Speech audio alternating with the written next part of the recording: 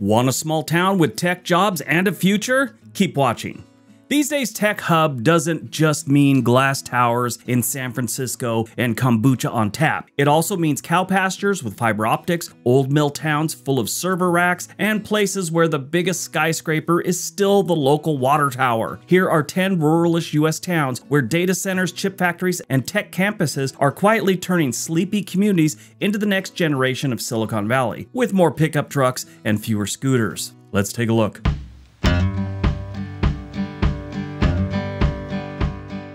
Number 10, Prineville, Oregon. From timber town to Facebook server farm. Prineville used to be your classic western timber town. Logging trucks, rodeos, and a downtown that looked like it hadn't changed since Eisenhower scared the crap out of the country with his partying message. Then Facebook showed up, followed by Apple, and suddenly this little city of about 10,000 people in Crook County, Oregon became one of the most important back rooms of the internet. Facebook opened the first data center in 2011 and has expanded so much that Prineville Prineville is on track to host the company's largest U.S. data center campus. Apple followed with its own facility. Together, the data centers went from employing around 160 people in 2017 to about 320 direct jobs a few years later, plus waves of construction gigs and contract work. Now, data centers normally don't hire a whole bunch of people. They're huge buildings, but there's a lot of supporting jobs that, that keep the facility going. So it definitely brings money into the community, not as much as you'd expect from a big campus and big building. But for locals in Prineville, it meant tech-style paychecks in places where the nearest big city is Bend. Housing demand spiked, rents climbed, and a town that once depended on timber is now arguing about things like server cooling, electricity demand, and whether your neighbor is a cowboy or a cloud engineer. The trade-off, better jobs, and more investment, but also a tighter housing market and infrastructure playing catch up. If you move here, your coworkers might be a mix of old school ranch kids and people who used to work in Portland tech and decided that they'd rather debug servers in a place where they can go fishing after work. Now, if you do want to move here, the prices have gone up over the last few years, or last decade, I should say, but still, the average home value is 425,000 right now in late 2025, which is still well below the national average.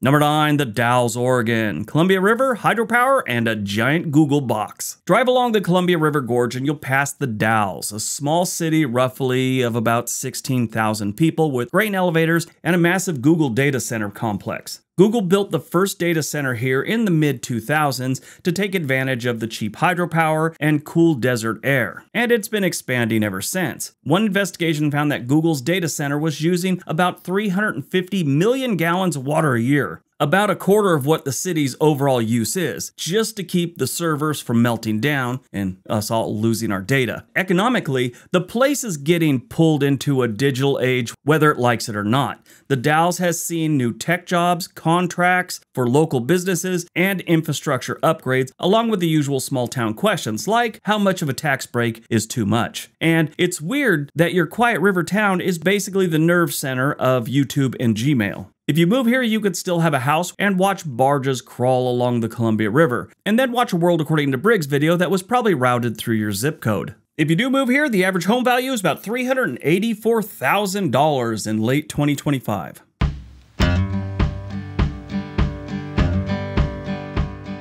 Number 8, Taylor, Texas. Samsung and $17 billion.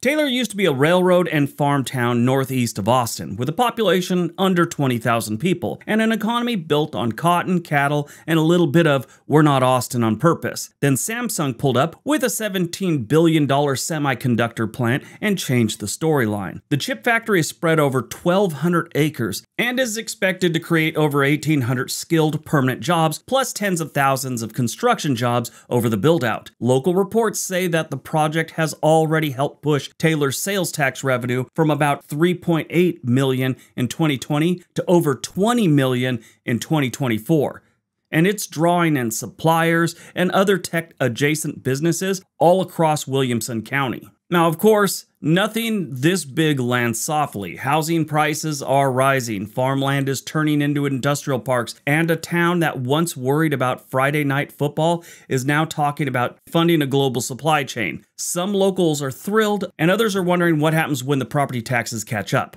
Move to Taylor now and you're early. Today it feels like a small town Texas with grain silos and barbecue joints. In 10 years, it might feel like Silicon Prairie with a Texas accent and a whole lot of engineers trying to remember to buy cowboy boots. If you want to move to Taylor, the average home value right now is about $280,000, which is not bad.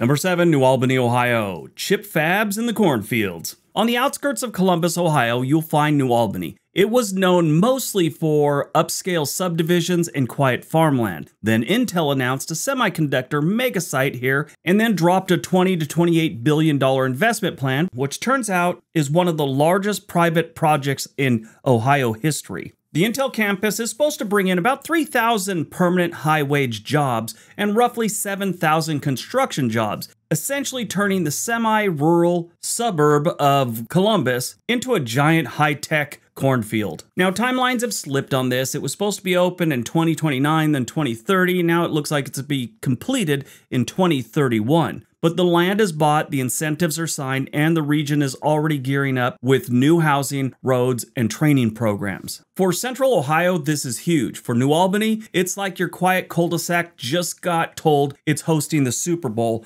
in the next 30 years. Local leaders are hyped about the tax based growth and new schools. Residents are watching traffic and house prices like a stock ticker. Move here and you're betting that cornfields plus chip fabs equal long term stability. Worst case, you get Midwest suburbs with nice parks. Best case, you're sitting in the middle of Silicon Corn Belt. Now, if you want to move here, the average home value is about $612,000.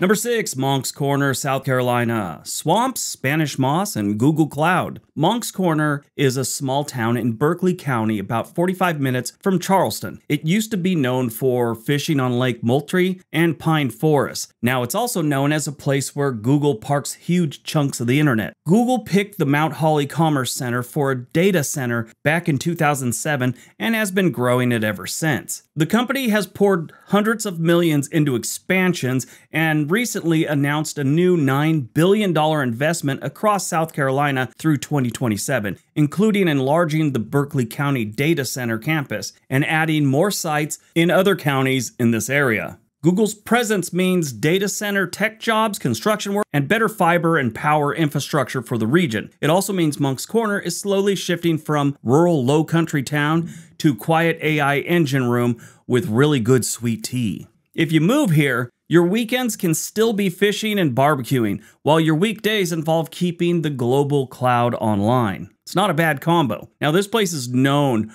for great fishing on Lake Moultrie, especially for the catfish. If you want to be part of that sweet, sweet tech money and move here, the average home value currently is about $363,000, still well below the national average.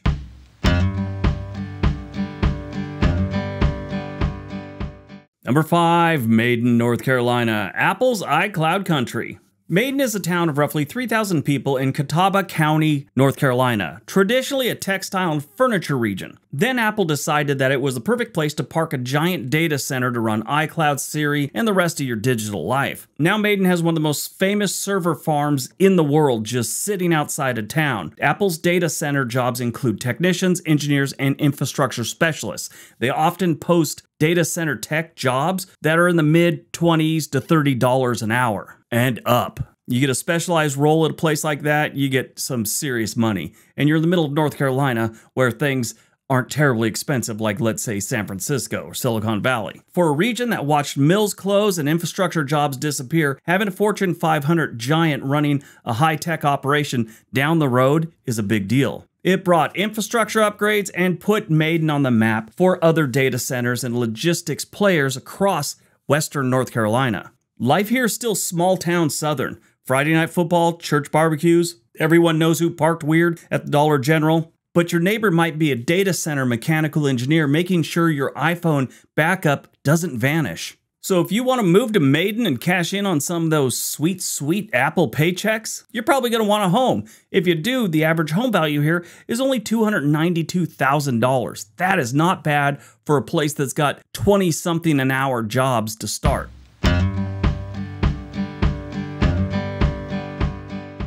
Number 4, Council Bluffs, Iowa. Grain elevators and Google racks. Council Bluffs sits across the river from Omaha, famous for rail yards, grain elevators, and now a sprawling Google data center complex. Google has built multiple facilities in the area over the last decade, and job sites routinely list dozens of data center and logistic roles tied to the operations. For a mid-sized city that once depended heavily on old school industry and river traffic, tech has quietly become the new stable pillar. You've got Google technicians, third party contractors, and support jobs like warehouse associates and logistics coordinators feeding the machine. Housing here is still far more affordable than most coastal markets, but as more data center jobs land and the Omaha tech scene spills over, prices and demand have started to climb. They're still not terrible. You get the feel of a blue collar river town that just happens to be babysitting a massive piece of the cloud. Now, you'll hear people complain about the data centers not hiring that many people. Eh, and I, like I mentioned earlier, they don't. They don't have thousands and thousands of people, like let's say a building that did manufacturing back in the 1960s. I mean, nothing has the amount of manpower that it used to have thanks to automation and computers these days, too. But they do have some jobs they probably didn't think were going to happen 25 years ago. Now, like I said, home prices here have been creeping up, but it's so low, it's really not even noticeable. It's gone up 2.2% over the last 365 days. The year before, it went up 1%. And that gets them all the way up to the average home value being $220,000. That is nothing, especially when you compare it to the coastal cities.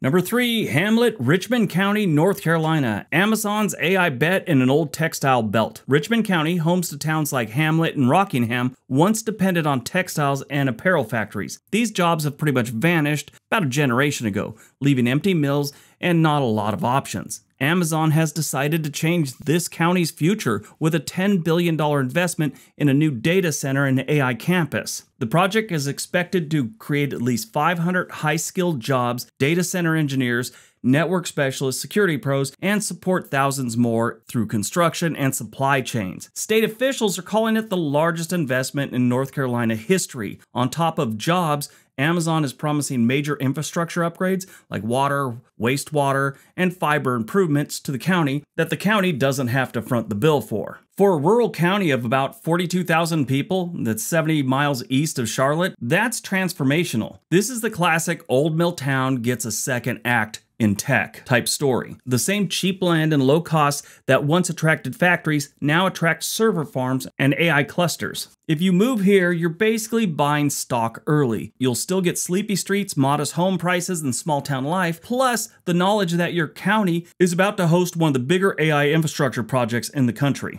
The average home value in Richmond County is about $127,000.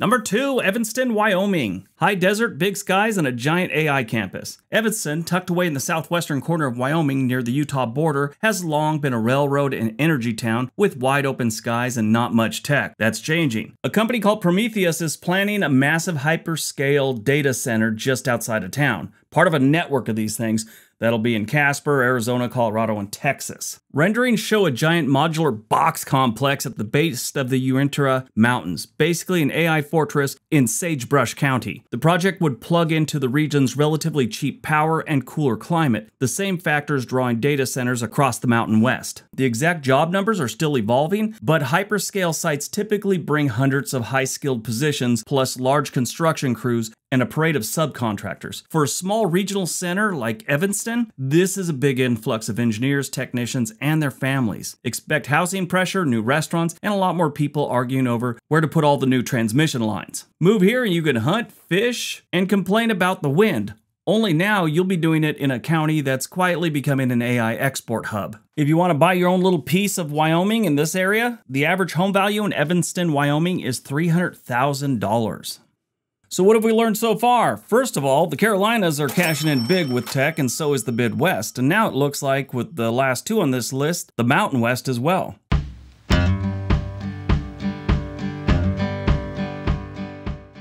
And number one, Silicon Sagebrush, the Tahoe Reno Industrial Center, Nevada, Fernley's new neighbor. Out in the high desert east of Reno, the Tahoe Reno Industrial Center, or TRIC, has become a global hotspot for advanced manufacturing and logistics.